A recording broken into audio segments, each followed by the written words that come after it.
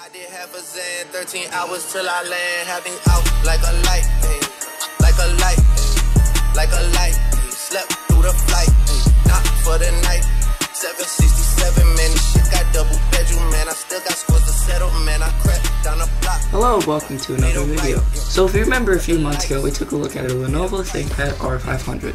While that laptop is nice, it wouldn't be very good as an everyday laptop due to its size and weight.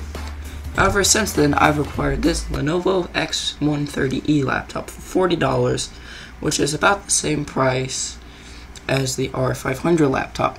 And in my opinion, it would be a better everyday laptop. The X130 is kind of like a Windows version of Chromebook, and parts of it are similar.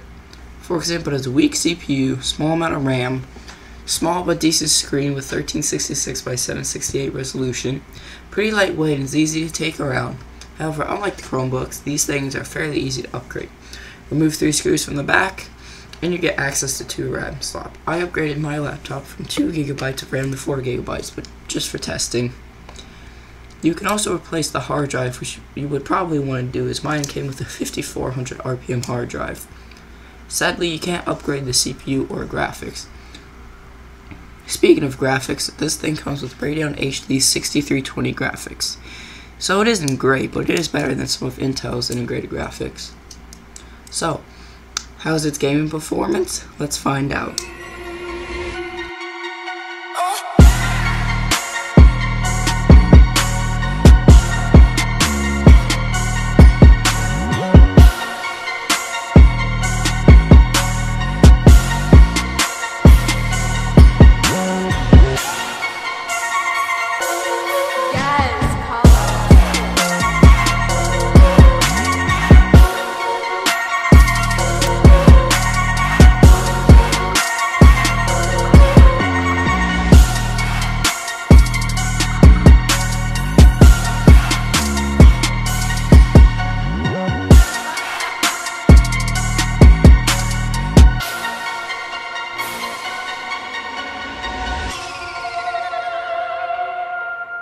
Now, obviously, this shouldn't be used for gaming.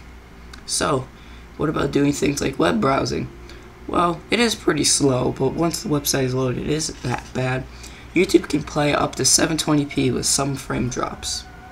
The webcam is pretty bad, as it looks like it's recording 10 FPS and the quality is 40p. I couldn't get the internal microphone to work, assuming that it has one. So, in conclusion, do I recommend this laptop over the Lenovo ThinkPad R500 that I reviewed a few months ago? I'm to say yes, as long as you're willing to sacrifice performance for very good portability. These can be found for around the same price as the ThinkPad R500, and I think it's in almost every way.